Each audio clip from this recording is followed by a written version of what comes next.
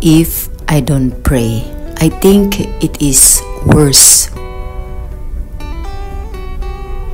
Because uh, prayer can protect us.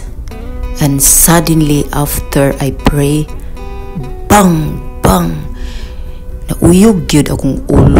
Nauyog, grabe nga kauyog akong utok ba? Akong tibok lawas. Kalit magud kaayos na ng pagkabangga.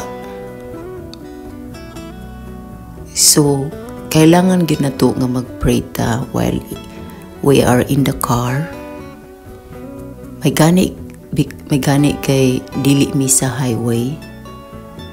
So God is so gracious.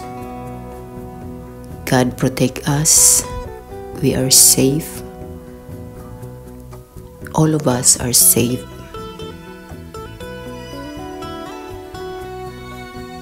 Only the car are damaged.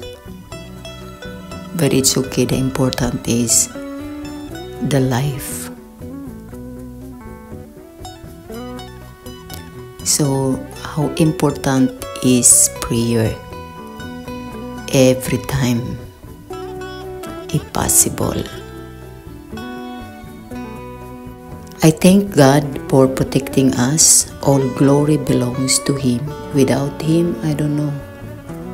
Anytime can happen to us. So, we have to pray, we have to be prepared all the time.